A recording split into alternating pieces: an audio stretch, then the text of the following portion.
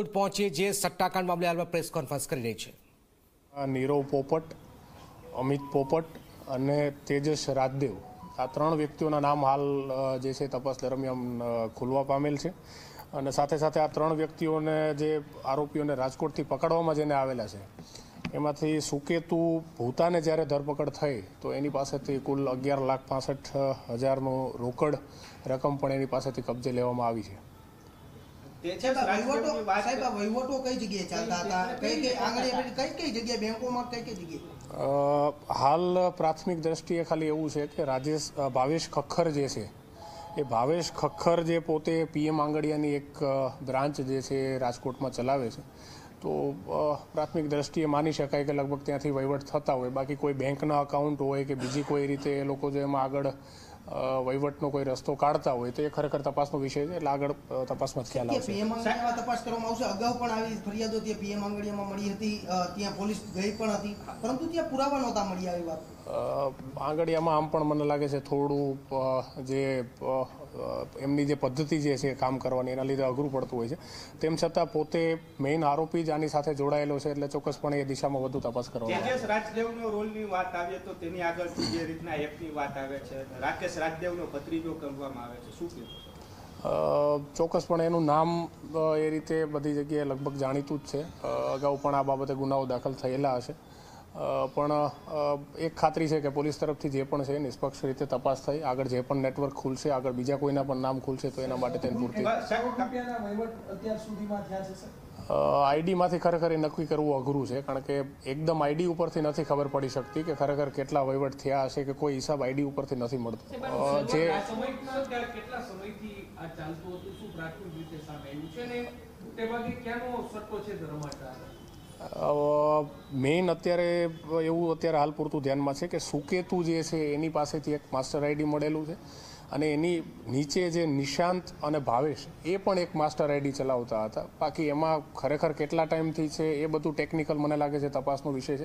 તો થોડો સમય મને લાગે છે એમાં લાગશે. એવું પ્રાથમિક દ્રષ્ટિએ કહી શકાય એમ નથી. કેટલા લાખ- કેટલા લાખ રૂપિયા પકડાયા છે? અત્યારે હાલ રોકડ રોકડ હા સુકેતુ પાસેથી હાલ અગિયાર લાખ પાસઠ હજાર રૂપિયા રોકડ રકમ જે છે એ મળી આવી છે. સાહેબ આ માસ્ટર આઈડી છે તો માસ્ટર આઈડી હેઠે પણ અનેક લોકોને આપવામાં આવતી હશે? કોન્ટ્રાક્ટમાં કોણ છે બેમાં અ, અ, મને લાગે છે કાલે જ હજી રેડ થઈ છે તો અત્યારે તાત્કાલિક એવું કોઈ માહિતી આપવી મારા માટે અઘરું છે. પણ કાલ મને લાગે છે એકાદ બે દિવસમાં જે પણ લોકો આની સાથે નીચેના નેટવર્કમાં પણ જોડાયેલા હશે એ દિશામાં પણ આગળ વધારે તપાસ કરી અને જે પણ હશે એની ધરપકડ કરવામાં આવશે.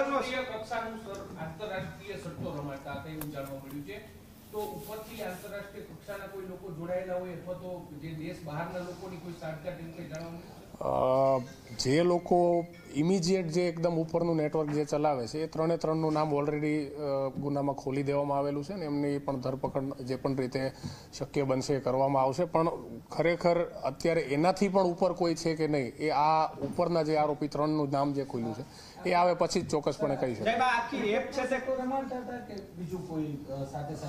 હાલ ક્રિકેટનું ધ્યાનમાં છે. બીજું એપ્લિકેશનની અંદર પણ આગળ તપાસ કરવામાં આવશે. જો બીજી રીતે પણ કોઈ રીતે હશે તો એના માટે થઈને તપાસ કરશે. કાયદાકીય શું પ્રક્રિયા હોય છે? ખાસ કાયદાકીય પ્રક્રિયામાં તેઓને જામીન મળી જતા હોય છે કે નથી મળતા? ગુનો કયો દાખલ થતો હોય જનરલી જુગારધારા હેઠળનો ગુનો હોય છે એટલે સજાની જોગવાઈ ઓછી હોવાને કારણે વધારે એને રાખી નથી શકાતા કસ્ટડીમાં. પણ છતાં પણ જો વહીવટો વધારે હશે કોઈ પણ રીતે એવી રીતે જે પીએમએલએની જે પણ જોગવાઈઓ છે એના રિલેટેડ પણ જો કોઈ ધ્યાનમાં આવશે તો એ બાબતે આગળ છે આંગળિયા મારફતે ચાલે છે. કરોડોનો વહીવટ માત્ર ઓછા નાણાં બતાવીને કારણ કે આંગળિયામાં બસો રૂપિયા દેખાડીને બે લાખનો પણ વહીવટ થાય છે. તો આ બાબતે તમારું કઈ તપાસ થશે? કારણ કે આંગળિયામાં પણ મોટું કૌભાંડ ચાલે છે ને પીએમ આંગળિયાનો જે મુખ્ય હતા કરતા તેજસ રાજદેવામાં નામ આવ્યું. મેં અગાઉ પણ કીધું એ રીતે આંગડિયાનો એક બ્રાન્ચ ચલાવવાવાળો વ્યક્તિ જ પોતે મુખ્ય આરોપી તરીકે ગુનામાં છે એટલે ચોક્કસપણે કઈ રીતના ટ્રાન્ઝેક્શન છે શું છે શું નહીં એ બાબતમાં તપાસ કરવામાં આવશે જ.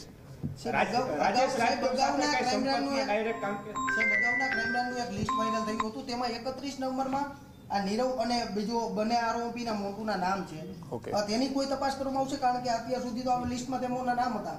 હવે એ કયા લિસ્ટનું છે મને એક્ઝેક્ટ આઈડિયા નથી, પણ અત્યારે હાલ આ ગુનામાં જે રીતે તમે જે રીતે વાત કરો છો કે ભાઈ એમાં કોઈ આંગળીયામાં તપાસ થશે કે નહીં, એ ટ્રાન્ઝેક્શન્સ બાબતે સો ટકા તપાસ કરો.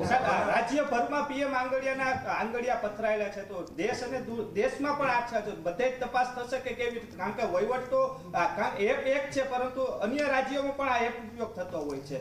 એપના માધ્યમથી અથવા વેબસાઇટના માધ્યમથી આઈડીના માધ્યમથી જે પણ ટ્રાન્ઝેક્શન થયેલા હશે એ જ્યાં સુધી લઈ જશે ત્યાં સુધી મને લાગે છે તપાસ ચાલુ જ રહેશે.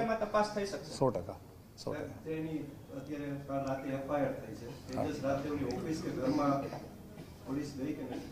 બીજા ત્રણે ત્રણ આરોપીઓને પકડવા માટે થઈને તજવીજ રાત્રે પણ કરવામાં આવી છે અને નીચે પણ જે પણ એવું લાગશે કે ભાઈ આઈડી સાથે નીચેના લેવલે કોઈ જોડાયેલા છે એના માટે પણ તપાસ ચાલુ છે. ઘરનું એક્ઝેક્ટ મારે એવું કોઈ જાહેર ના કરી શકું હું પણ જે પણ જગ્યાએ મળી શકે આરોપી બધી જગ્યાએ તપાસ કરવા માટે થઈને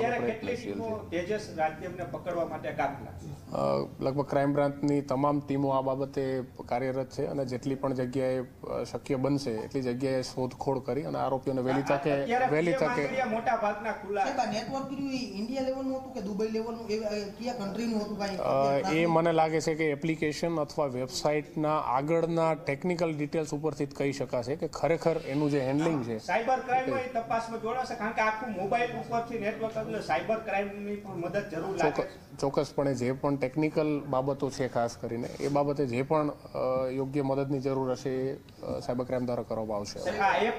તૈયાર કરવામાં એ બધું મને લાગે છે ઘણી બધી વિગતો મગાવ્યા પછી જ કહી શકાતું હોય છે. પ્રાથમિક દ્રષ્ટિએ ખરેખર ખ્યાલ નથી આવતું કે વેબસાઇટ ક્યાં બની છે હોસ્ટ ક્યાં રાખેલા છે કયું ડોમેન લીધેલું છે એ બધું પાછળથી જ ખબર પડતી હોય કારણ કે ઘણી ડિટેલ્સ મગાવી પડતી હોય હાલ ક્રાઇમ નહીં સાયબર ક્રાઇમ પાસે હાલ કોઈ તપાસ નથી. જ્યાં જ્યાં ગુના દાખલ થયેલા છે એ જ એજન્સીઓ ત્યાં અત્યારે કરવામાં આવી છે. તો આજે એને ગુનાના કામે કોર્ટમાં રજૂ કરવામાં આવશે કે જામીન આપી દેવામાં આવ્યો છે. રિમાન્ડ કેટલા દિવસના ક્રાઇમ ગુનામાં જ્યાં સુધી જુગાર ધારાની વાત છે, તો એક તો જોગવાઈ જ એવી છે અને સુપ્રીમ કોર્ટની ગાઈડલાઈન મુજબ ખરેખર સાત વર્ષથી નીચેની સજા રાજકોટમાં ઓનલાઈન ક્રિકેટના સટ્ટાનું રેકેટ ઝડપાયું છે. ત્રણ આઈડી સાથે ક્રાઇમ બ્રાન્ચે ત્રણ લોકોને દબોચી લીધા છે. ધરપકડ કરી છે. લાખો રૂપિયાના ક્રિકેટના સટ્ટાના વ્યવહારો મળ્યા છે. સુકેતુ ભૂતા નિશાન ચક, ભાવેશ ખક્કરની ધરપકડ થઈ. તેજસ રાદેવ, અમિત પોપટ, નીરવ પોપટના નામ સામે આવ્યા. તપાસમાં હજુ પણ વધુ બુકીઓના નામ ખુલે તેવી શક્યતાઓ છે. પોલીસની તપાસમાં પાંચ કરોડના વ્યવહારો ખુલાસો થયો છે. ઝી ચોઈસ કરાર ટીમ આ ક્રિકેટના સટ્ટાઓ સુધી પહોંચ્યું તો અનેક સવાલો થયા કે આંગળિયા મારફતે આ ટ્રેડિંગ ચાલી રહ્યું હતું. એક મોટા રેકેટનો પર્દાફાશ કરવામાં આવ્યો છે અને હજુ પણ મોટો ઘટસ્ફોટ થઈ શકે છે.